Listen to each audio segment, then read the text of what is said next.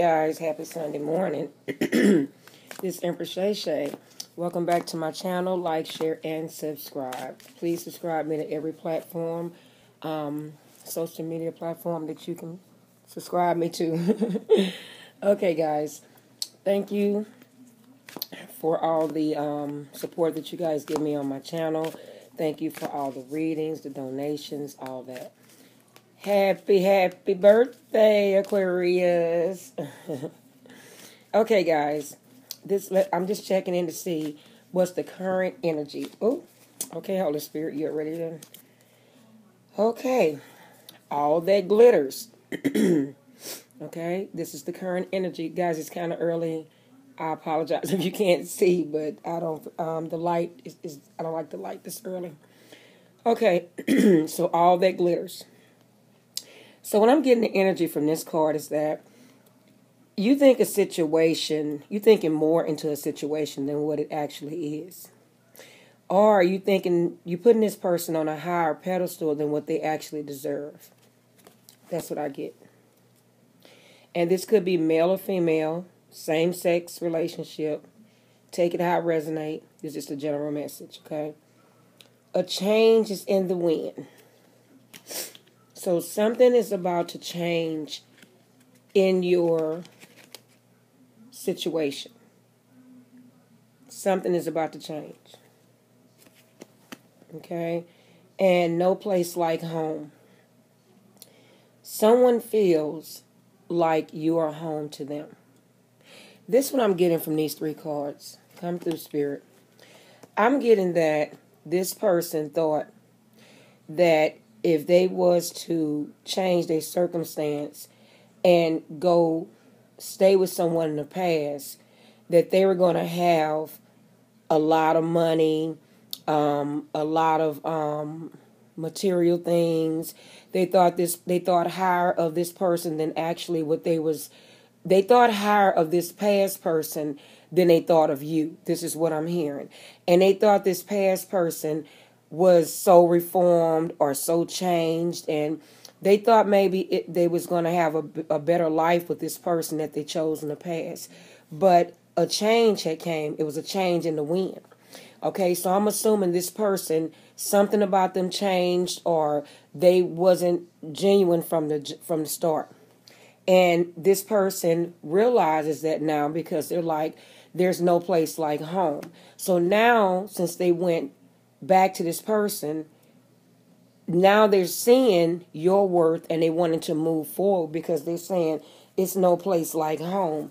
But now, since they finally made that decision and they finally see you for who you really are, they like, oh shit, but it's a fork in the road because now they're trying to figure out how do I get out of this situation that I thought that was so spectacular that I thought that was going to be the my end all be all that I thought everything was going to be fine. I wouldn't have to go and you know look for anybody else or be with anybody else in a relationship or whatever.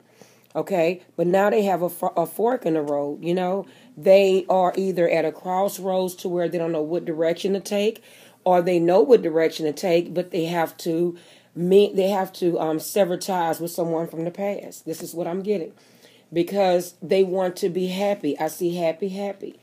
You make them happy, happy. That's why they say no place like home. You're their milk and honey. Look at all these beautiful cards coming out.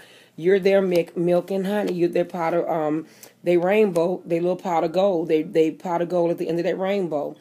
Um, you do everything by the book. You don't mind helping them. A leg up. Okay, you really don't mind helping them, and I'm hearing that's what they like about you. Okay. Let me see what card can I pull. Okay.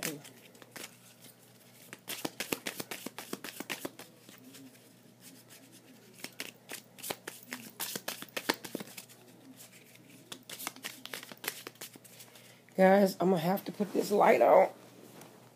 I did not want to put this light on. okay, guys. Okay, now you can see the cards better. You can see Empress Shay better. Okay. See, this is what all that glitters is not gold. This card, which is no place like home. A change in the wind. A leg up. About a book. Milk and honey. Happy, happy. And a fork in the road. Okay? Okay, guys, let's roll. On. I don't want to make it too long. Okay? Shine bright like a candle. You will make it through this. Okay? You're hurt behind this situation. You're hurt because you wanted this person or you thought this person wanted you, however it goes, guys. But this situation is making one of you guys very sad. And it says, just find this to be a lesson. Discover the purpose in a situation and trust that you are learning.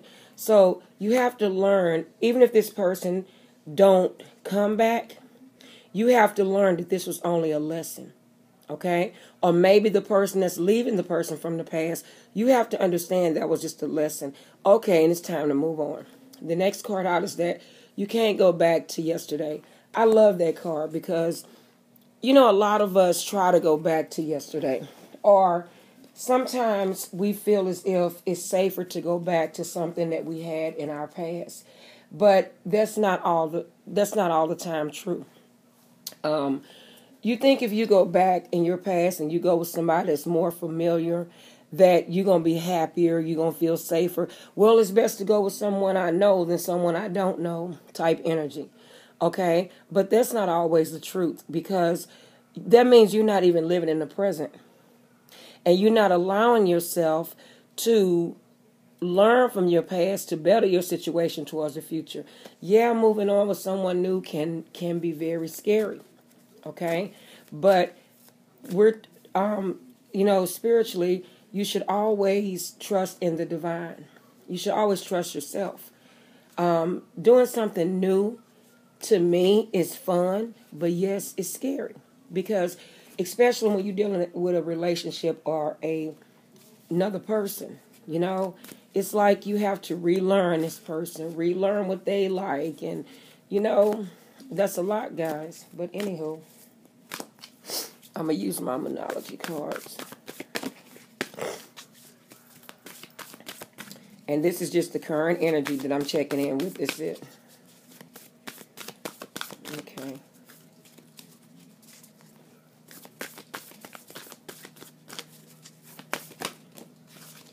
Okay. It says it's time to take action. You could be dealing with an Aries. Okay? And it also say meditate and contemplate new moon in Pisces.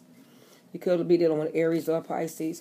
Guys, I stress meditation because meditation brings clarity, mental clarity. Okay? And the bottom of the deck, it says nothing will come of this situation. Nothing will come of this situation without mental clarity. Okay? I really believe that. I really feel that with this energy. You have to see who you are within your own self before you can invite anybody else to be with you. Okay, let's get into the tarot. Look what came out. Look at this. The Knight of Swords and the Star. You know the energy that I get from these two cards? First of all, it's all air energy. The star is Aquarius energy right off the rip.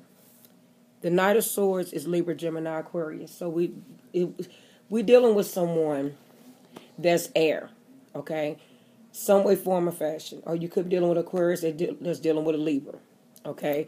But all in all, what I'm looking at I'm looking at a person also, a start to me could mean someone is either carrying a message. Starks normally carry babies. You know, you know how the old fashioned movies show you where a Stark carries a baby. But to me, a bird is always a messenger. That's to me. So I feel like this person is a messenger of God. And this person is sending messages out and being very authentic and clear with their messages. This is what I see from these two cards. And that they don't really, when they give the messages, they don't hold on to the messages. they have learned how to expel the messages. They have learned to say, okay, I've given the message, now I'm going to give it back to the universe. Or I have dealt with this situation in a relationship and I done seen it for what it is, so I'm pouring out my problems, I'm pouring out my troubles, and I'm giving it back to the universe. Um, and I don't care who who thinks what because I'm a live in my truth. Okay, this is what I see from those two cards. And with saying that, you decided to move forward. Six of Wands. You decided to move forward pretty pretty quickly. And to me, when I look at this card, I never really looked at it like that. You decided to move forward around Christmas time. See, reefs come around Christmas because you were tired of doing everything by yourself. You see how she's holding that wand by herself? So now somebody's trying to chase behind you. Look at this person is chasing behind this person. I never really seen that like that. Okay? Then you have someone on the side. You have two people that's going to be chasing you. I'm hearing it's going to be two people chasing this Aquarius. This Aquarius is going to have two options. Okay, the tables is going to turn for this person because this person has been through a lot.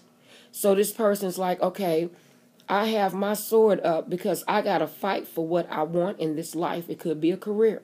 I have to work hard to get where I need to be, and I got to leave a lot of people behind if I want success in my life. Okay, that's Aquarius, Libra, Gemini. I mean, that's Aries, Leo, Sagittarius. Okay, Holy Spirit, what else?